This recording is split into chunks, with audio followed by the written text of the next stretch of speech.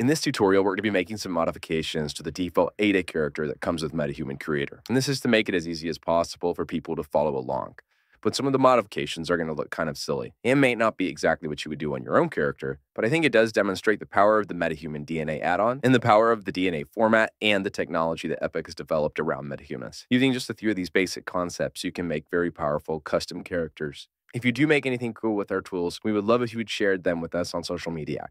All right, this video is going to go over how to use MetaHuman Creator in Unreal 5.6. If we fire up the Epic Games Launcher and we look at the Library tab and check our installed engine version, if we click on this and we go to Options, when we install this, we need to make sure that the MetaHuman Creator Core data is installed. So make sure that it's checked and then hit Apply. With that done, let's go ahead and launch Unreal Engine. Let's go ahead and go to the Games tab, we'll create a new project. All right, great. I'm going to go to manage plugins. I'm going to search for MetaHuman and I'm going to enable everything with the MetaHuman logo. And I'm going to do restart now. All right, and I'm going to go to the content folder. I'm just going to create a new folder called MetaHuman Creator.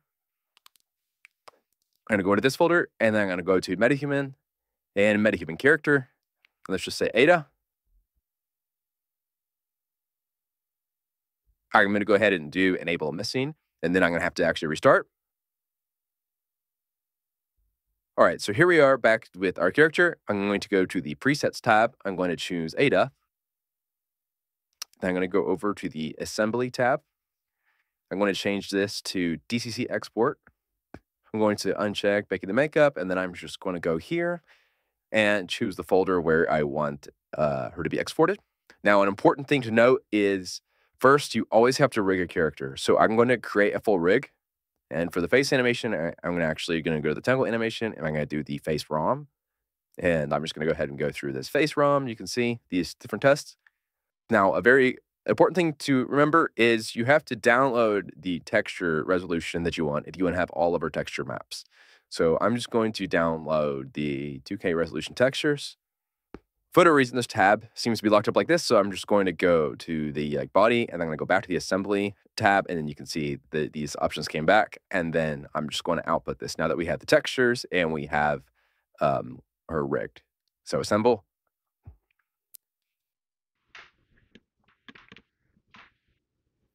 All right, so now that um, she's exported, you we have this folder for Ada.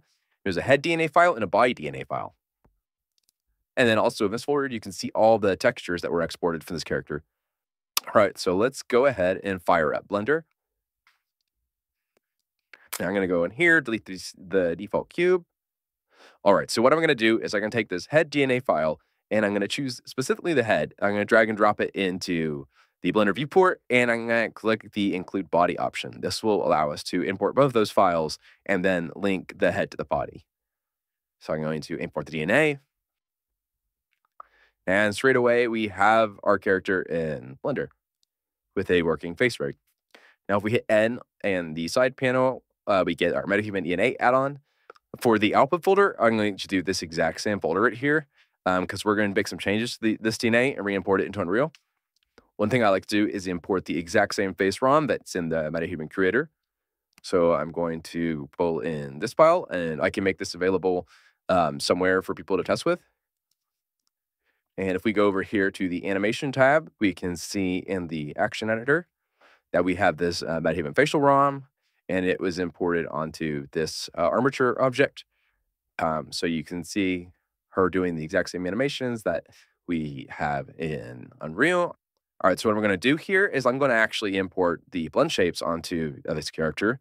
And if I go over here to shape keys, and I just say import shape keys, it'll import the shape keys from the DNA. So it's going to go ahead and run through and import all those.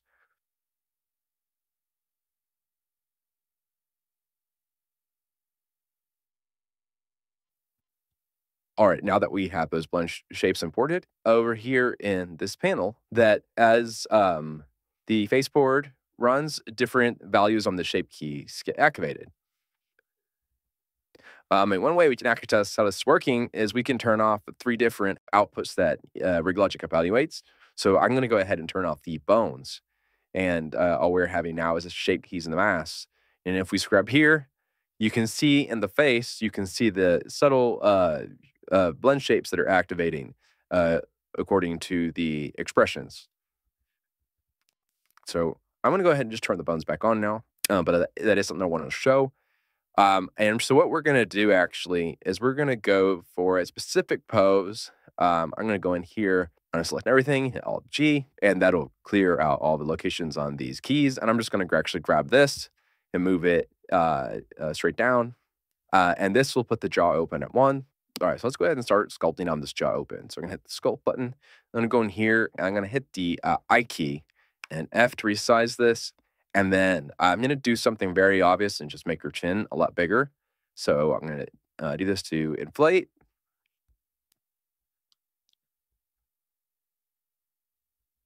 Something that we can really see um, embedded even greater. And I'm going to hit uh, S and then smooth this a little bit. And then there we go. There's the uh, shape key. And then now to test this out, I can just scrub through the animation and you can see when the mouth opens, that chin's going to get really big. So that's the first change we're going to make. So we did it, we did a shape key example. Now I want to do uh, an example of calibrating the bone. Then I'm actually going to the utilities and then for the armature, I'm going to choose the nose bones. So you can see here we have the nose bones here.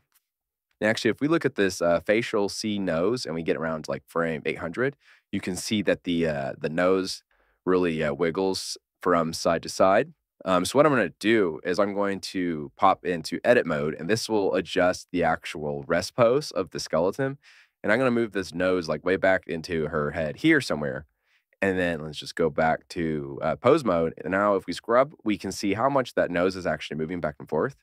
All right. And so this character is actually ready to be exported. So he can go to the output tab. You'll see there's two components, head and body. Um, all we want to do is just export a single component, which is the head, which is only the DNA file instead of uh, everything related to this asset. So I'm going to go ahead and click this button, and it's going to calibrate our changes to the DNA. All right, and then one last time in Unreal, I'm going to go ahead and scrub through here so you can see the chin open. And then we're going to go to the part you can see where the nose is wiggling. Um, this is just the default ADA DNA, um, but now we're going to import ours. So we're just going to remove the rig and then where it says conform, we're going to click conform. And we're going to have whole rig checked. The file we're importing is the head DNA file. You can see the import whole rig option imports neutral pose and all expressions from the MetaHuman DNA file and sets the asset into a rig state. So this bypasses the remote rigging service that generates your DNA and uh, allows you to have full control of how you generate your DNA. So that's what we're going to do. We're going to click import. All right, and now for the moment of truth, we're going to go to where the jaw opens. So you can see her chin. You can see that chin get big when her mouth opens. And just as a sanity check, let's go here into Blender and we can see the same thing.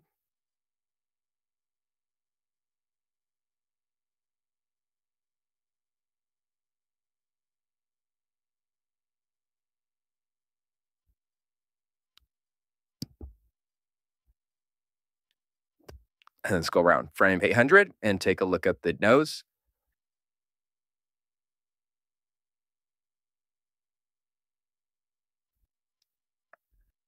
And it's really that simple. So the pipeline you want to use is you want to send the DNA through MetaHuman Creator.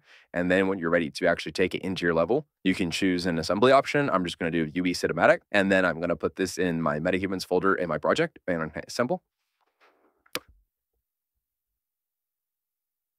Now that assembly is complete, we can go to the MetaHumans folder where we exported our character. And if we click on an ear, we can see our blueprint. We can drag and drop her into our level. I'm just going to reset location to zero. Now, we're just going to do is go to the top folder and go make a new level sequence. And we just call this test. Let's open this up and let's just add the actor. And another oriented, we can just grab that mouth control and you can see that we have that chin blend shape activating. And as I grab that, you can see that that nose bone has also been adjusted strictly by the DNA. Please follow us for more future tutorials. Thank you.